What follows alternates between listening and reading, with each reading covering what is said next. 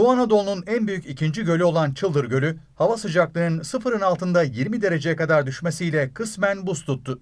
E, Kars Ardahan arasındaki Doğu Anadolu bölgesinin ikinci tatlı e, gölü olan Çıldır Gölü üzerindeyiz şu anda. 123 kilometre kare alana sahip Çıldır Gölü, Kars'la Ardahan arasında yer alıyor. Bölgenin önemli turizm merkezlerinden biri. Turistlerin yoğun ilgisi var. Buz tutmuş Çıldır Gölü üzerinde keyifli zamanlar geçiriyor. Çıldır Gölü'ne çıkan yerli ve yabancı turistler keyifli zaman geçiriyor. yıldır buranın hayalini kuruyorum gelmek için. Amatör olarak fotoğrafçılıkla uğraşıyorum. Buz tutan gölde yürüyüş ve bisiklet turu yapılabiliyor. Atlı kıza binilebiliyor. Gördüm açıkçası. Geldiğim arkadaşlardan cesaret de alamadım. Onları kıyıda bıraktım. Ee, Ben o cesaretle birlikte çıktım.